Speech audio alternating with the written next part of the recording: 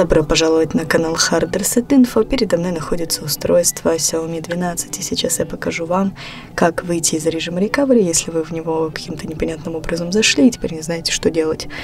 Итак, для того, чтобы выйти из режима recovery, нам нужно выбрать нашу первую э, кнопочку функцию. Это у нас перезагрузка, ребут. Э, для того, чтобы ее выбрать, мы должны нажать на клавишу питания, потому что таким образом мы можем здесь управлять в данном режиме.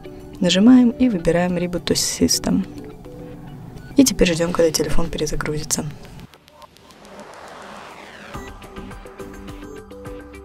И наш телефон перезагружен. Мы вышли из режима recovery. На этом мы заканчиваем. Спасибо за просмотр. Ставьте лайки и подписывайтесь на канал.